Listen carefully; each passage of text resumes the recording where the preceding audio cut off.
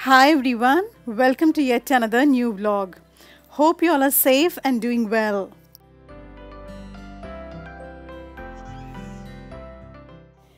It's another beautiful day with beautiful hopes and today I'll be sharing with you few tips how to grow your house plants that is money plants at home and also my simple lunch recipes. Do watch it till the end, you may like it. I made some eggs fry, bindi fry and drumstick sambar. Thought of not having non-veg today.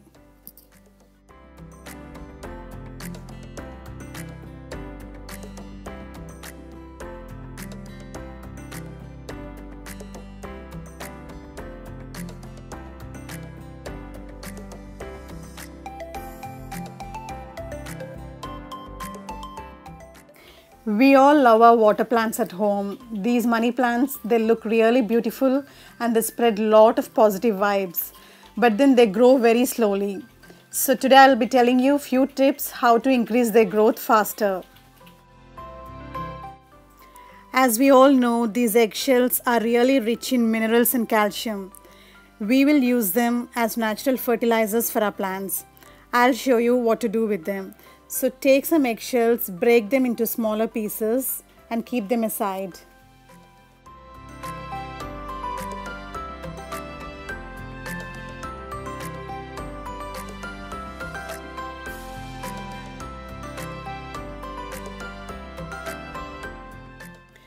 Now take a jar, add all these eggshells into that carefully.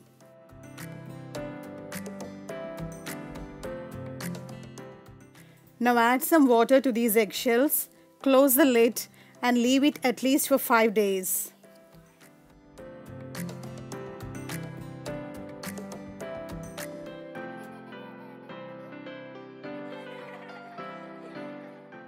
Now these eggshells will decompose slowly and all the minerals and calcium will be shifted to this water. Now after 5 days the fertilized water is ready. What we need to do is we have to empty our water jars half and fill the rest half with this fertilized water.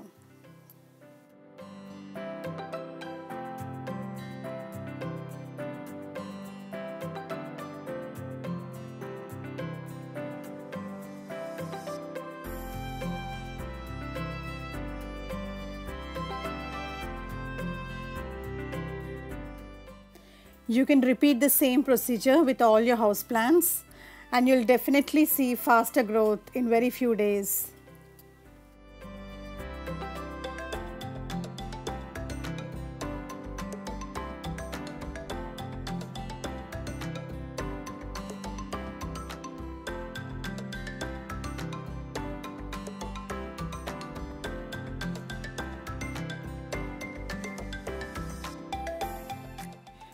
For the morning breakfast, I made some quail eggs fry. I boiled them initially and then later on fried it.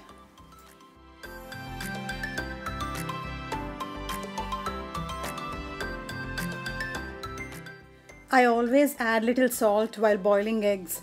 It helps it not to break.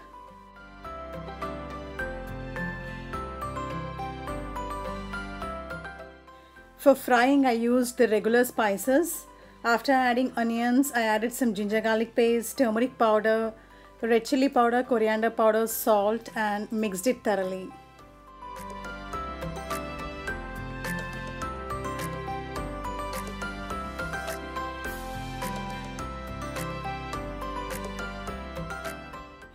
Leave them in the low flame for 5 to 7 minutes till the eggs absorb all the spices.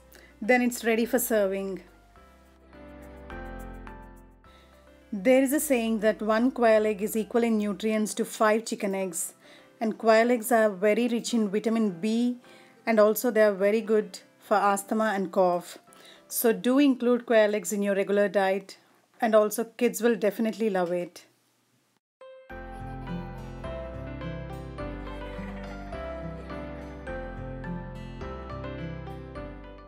Now to make the bindi fry, I'm adding some cumin seeds, mustard seeds and also one dry red chilli.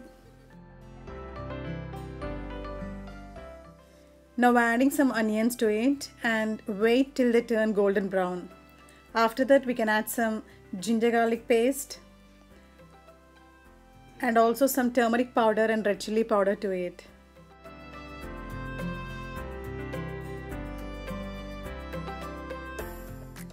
I already chopped the bindi so now adding it straight away to the gravy. Some of them what they do is in order to remove the stickiness they fry it initially but the sticky part of the bindi is very good for sharpening the brain especially for kids during their exams. So if your kids are into computers and mathematics, don't forget to give them lots and lots of bindi. It sharpens their mind. And never deep fry bindi because it will lose its essence.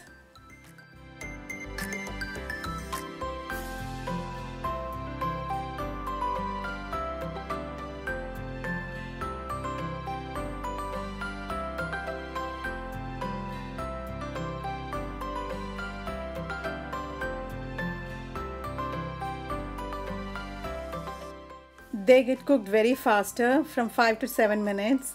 At the end adding some coriander powder and salt to it. We can garnish it with some coriander leaves and it's ready for serving now. On the other hand, I started making this drumstick sambar. For that I cooked the dal separately in pressure cooker. Now preparing these drumsticks. Drumsticks are cooked with ginger garlic paste, sambar masala and hing for 10 minutes. After that adding this dal mixed with tamarind juice to it.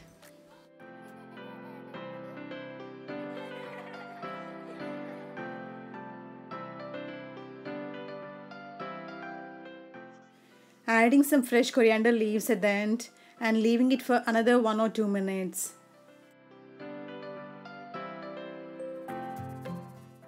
This is the regular South Indian way of making the lentil soup. We can add any other vegetables we want to.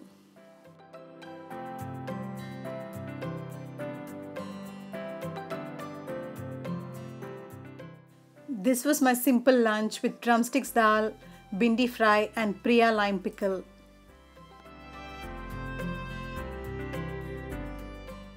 Hope you liked watching today's video.